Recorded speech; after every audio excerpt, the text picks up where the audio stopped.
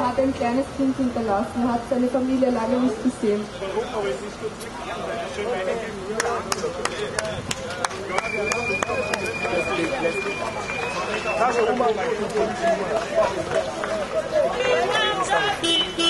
We are here to resist against the structure that really doesn't have respect for humanity. We have chosen to demonstrate today under this hot sun because the pain we are all feeling in our heart is really strong, very, very strong to bear. The demand is the truth. We want to know why Kingsley was murdered. After the arrest, he was locked up in a single cell. And in that cell, there's supposed to be a video recorder. But after Kingsley's death, the report we had was that the video recorder did not record anything. Since 2000, there's been nine African people who died in the hands of police, and nobody has asked them why and how. Being out here today to demonstrate against this injustice, it goes far to say we will not tolerate any more death in the hands of police. Kingsley wasn't caught with drugs. Drugs were planted in him after they succeeded killing him. Sisters, I'm happy today that we meet in this place.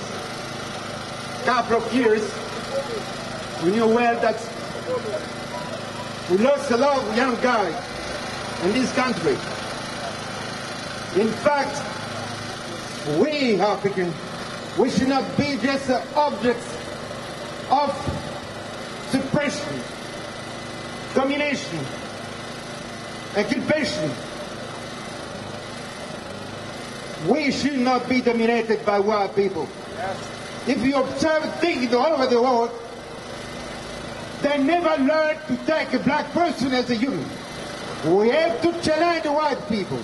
We have to challenge white people where we are. The person we are talking is my cousin brother. When I heard the story, I never believed it. Even as I'm talking, I never believed it's name. But what we are saying, we need to know exactly what killed our brother. That is why we are here. If somebody commits any offense, I think the person should be punished. This one we support. But for somebody to be killed and then some allegations putting upon a dead man, this one, the land of Austria doesn't want it. The land of Austria forbids such a thing. To kill somebody, or even without knowing, without the autopsy coming out, to say this particular thing killed this person without having the autopsy, I think is forbidden anywhere. And Austria land forbids such a thing. That we are all in one man and one heart, trying to know exactly the truth of what happened.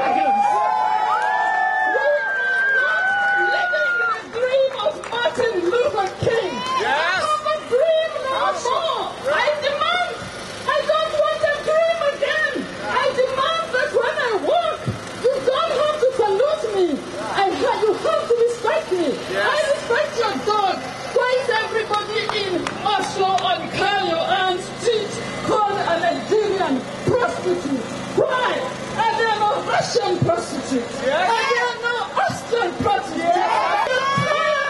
Of being tortured, and we are not going to apologize for our color. The president of Austria greeted me with a lot of respect. He said, "What is your name? Where do you come from?" He was very courteous to me. Recently in Oslo, we were also very close to the king. I ask now, let not these greetings be for the few who can get up there. Let every policeman know when he attacks a black person, I am sorry. It is seen as an attack on the whole race. When you want to arrest a black person, do it peacefully. And we Africans, everything labeled black, almost the black Madonna, is seen to be evil. Death is seen to be black. Black labor. We go around talking about black labor. Here in Australia, you go to the station, you see black passenger is a black one who's travels. My friends, we all have the same nose, we breathe the same, we eat, we go to the toilet the same. I'm sorry for Kingsley, I never knew. I was on Facebook campaigning for the Africans who are being killed in, in America. I have now woken up that it is also happening here. I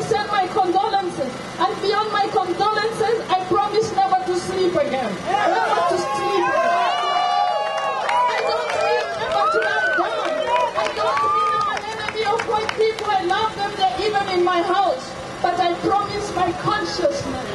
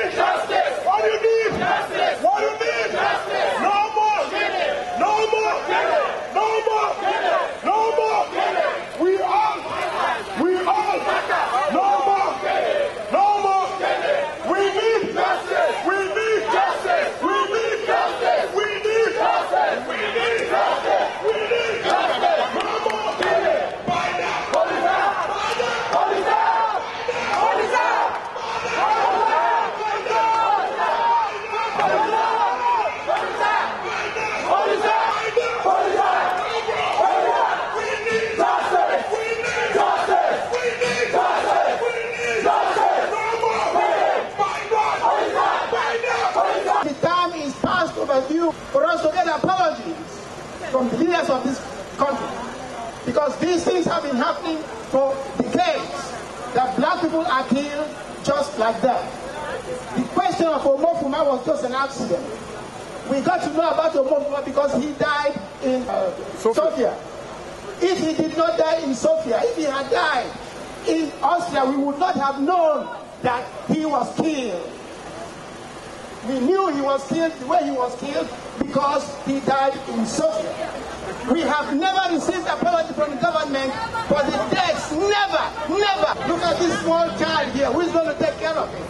Even if he committed a crime, he broke the law. The law does not say that he has to be killed. The law stipulates what has to be done with him. If he has to go to jail, he has to be put in jail, but not to be killed. Nobody has a right to kill anybody. Dr. Martin Luther King Jr. said,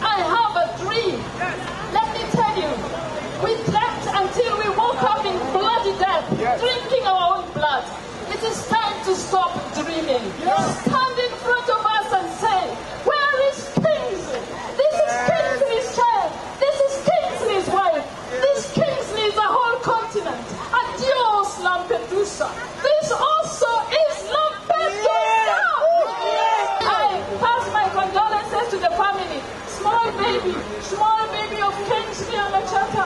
How can I weep for you? What can I say to your call you continent? in. What can I say to your family? How can a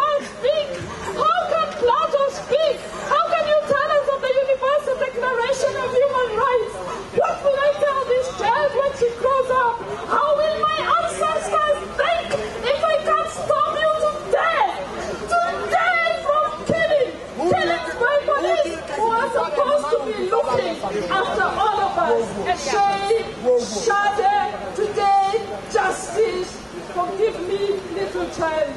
If I have been